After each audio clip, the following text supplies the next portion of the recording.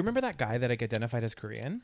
Oh God. He was like being interviewed, and this like Oh. this this lady was I interviewing think I him, saw a, a clip of that. Yeah. If you guys don't know what we're talking about, we're talking about a guy named Oli. and they went on a really fun trip to Korea. it was like One time, I identify as Korean. came back and was like, you know what, I'm Korean now.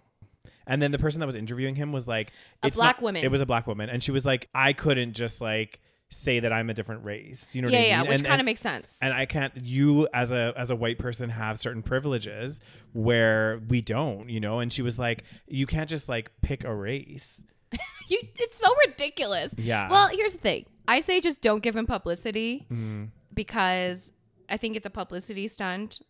And I don't think it really matters at the end of the day. If he wants to call himself Korean and live in his own fantasy world, like he can. I think the black lady made a good point. She said, like, it's not like I can just be like, hey, I'm white, mm-hmm. you know? And she's like even if I did do that, I wouldn't get all the privileges that come with being a white person. Right.